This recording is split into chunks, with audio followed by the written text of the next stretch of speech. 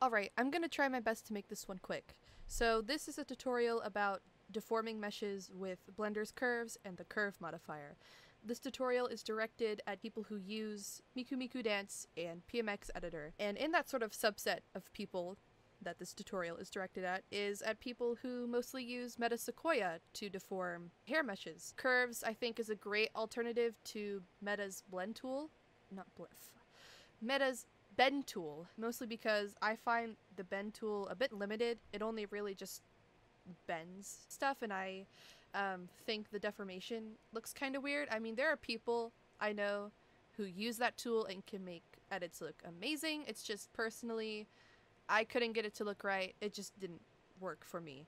So this is a great alternative to anyone who wants like it's a different method of editing hair, like maybe you use the bend tool and maybe you just want to learn a tool for like future reference. Whatever your purpose is, I hope that this tutorial can help you. So let's just jump in. Three things you'll need. Blender, obviously. Two, you need the mesh that you're going to edit. Personally, I'm using just a default Tda Miku twin tail, although this will work for any sort of uh, mesh like YYB, Sour, Animasa, Kuroyu.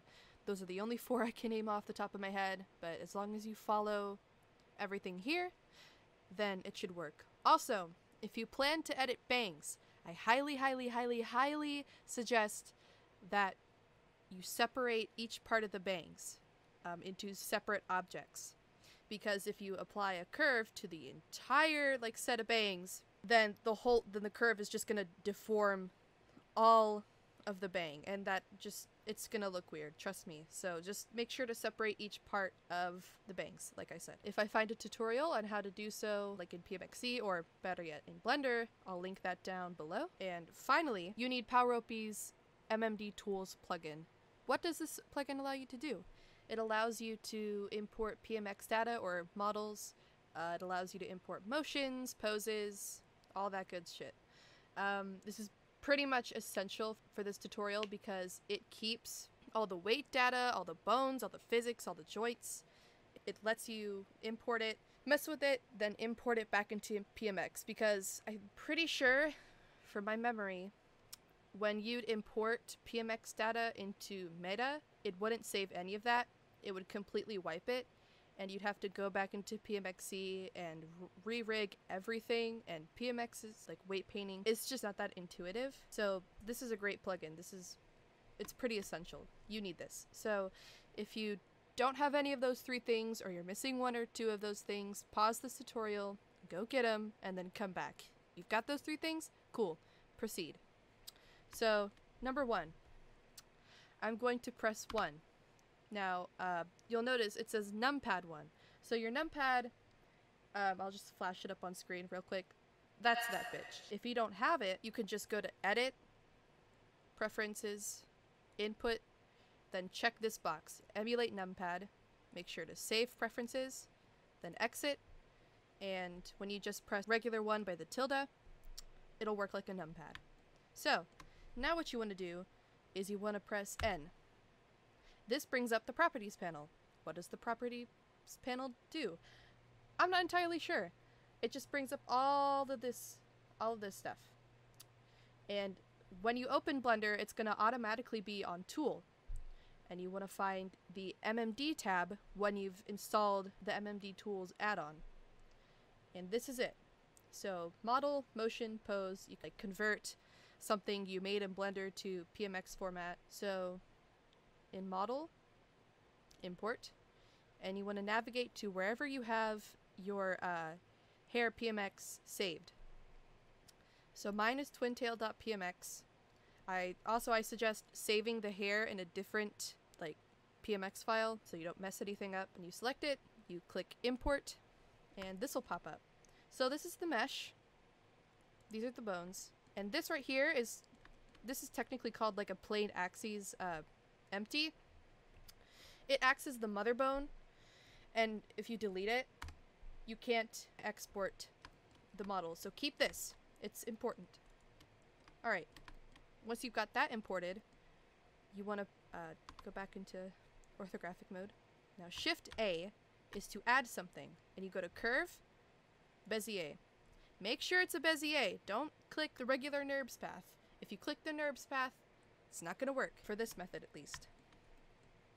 And you'll notice that this is curved. Well, you don't really want it to be curved like that, so you go into Tab. Make, press A to make sure everything is selected. Then V, so that brings up the handle type. V for automatic, so it straightens it out. And then V, L.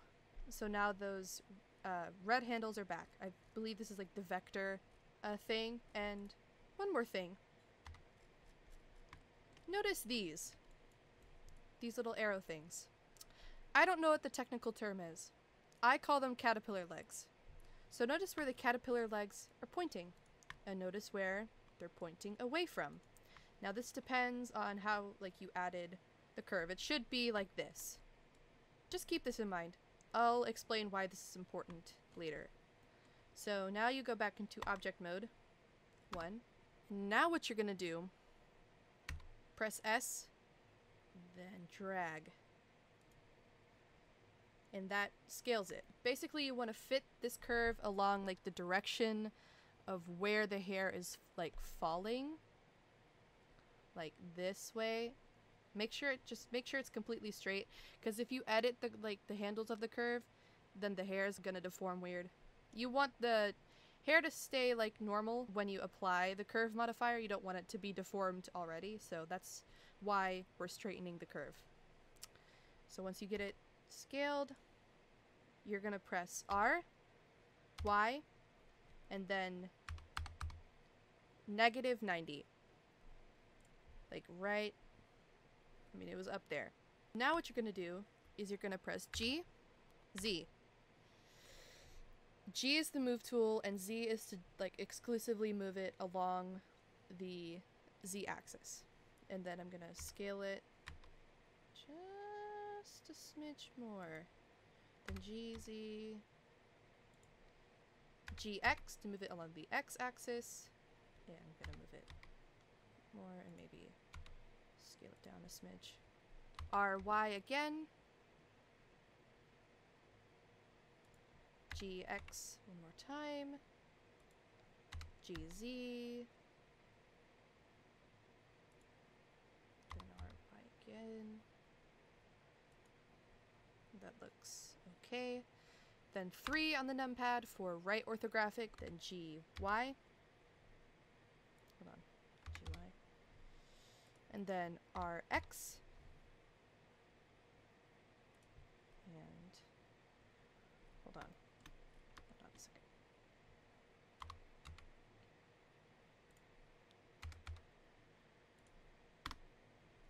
And then tab into edit mode. Okay, I'm gonna scale it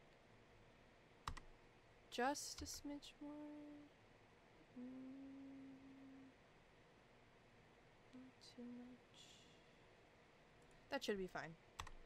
So now that you've got the curve fit to the general like direction of where the hair is going, so like in this line, I keep like taking my hand off the mouse and like touching the screen even though you can't see my hands. I don't know why I'm doing that. So now what you want to do is remember, remember these little legs here? Notice they're pointing to the top. They're pointing away from the bottom. You want to select the bottom one here. A lot of curve tutorials will tell you, oh, select the where these legs are pointing and then set this bad boy, the 3D cursor, there. For me, if I set the 3D cursor, this, this little guy, at the top, then the mesh just, it's in a completely different um, location, like from where it's supposed to be. Like it, like the hair mesh is like all the way down here or something, and it just doesn't look right to me. So what works for me is setting the 3D cursor at this point right here where the legs are pointing away from. So select this, curve, snap, cursor to selected, then tab back into object mode, object, set origin, origin to 3D cursor. So now you want to do the same for the hair. So select the hair mesh, still in object mode, object, set origin, origin to 3D cursor. And now here's the fun part. You want to go to this wrench here. This is where your modifiers are. Add modifier. deform curve. And then you can either like select the curve in the drop down list or you can use this eyedropper here. And it works. So if you did this properly, it should only deform a little bit. Oh, it's not even deforming at the top at all. Sweet. So it might deform just a little bit at the top here. It's not that bad. It's working. So now if I select the curve, tab into edit mode, press G to move, it moves the curve. So obviously it moves the whole mesh too much. So what you can do is press A, right click, subdivide. And you can subdivide as much as you want. So this is a really insane subdivision. It only forms that a little bit. It's just kind of annoying, but oh well.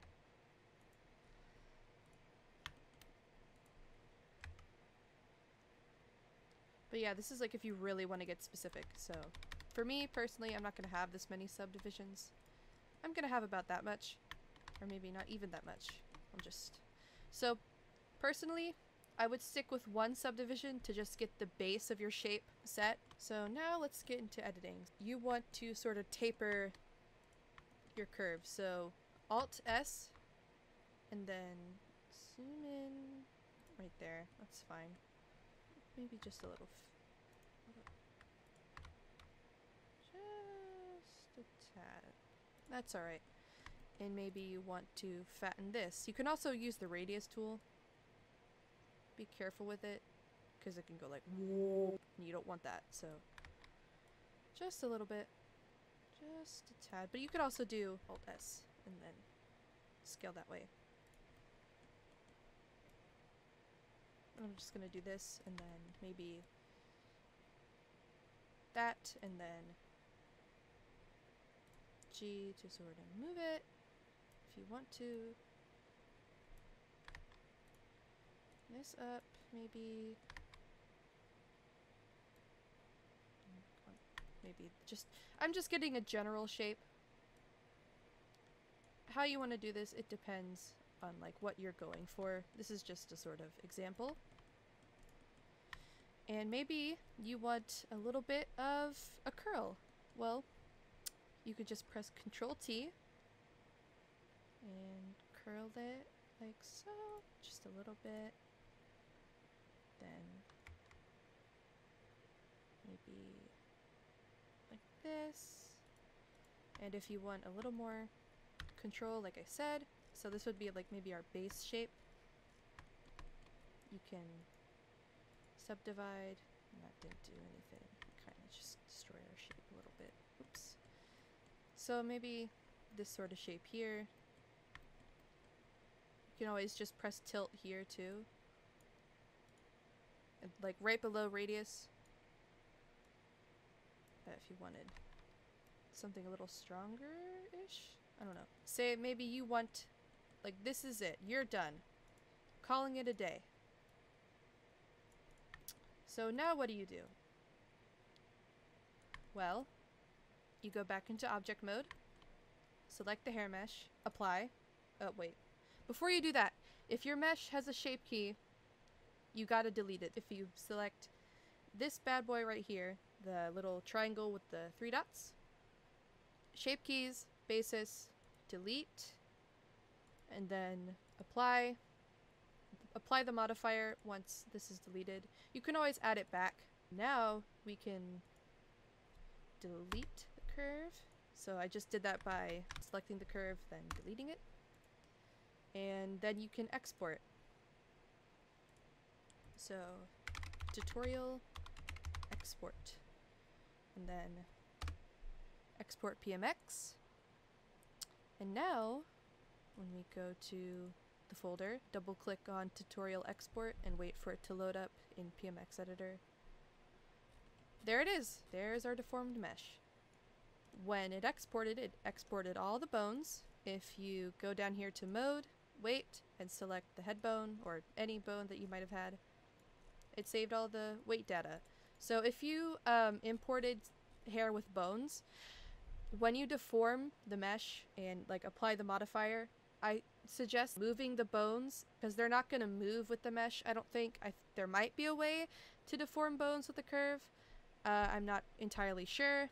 I'll do some further research on that, and if there is, I'll update this video, like with a little mini update. The bones will likely be in a completely different location, so you'll have to move the bones, like, back, like, in their spots.